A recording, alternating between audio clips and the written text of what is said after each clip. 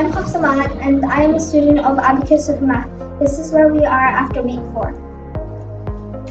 58, add 31, take away 28, add 36, take away 55, take away 31, add 78, take away 27, add 36, take away 22, answer. 76. Well done. Please like and subscribe to Abacus Supermath.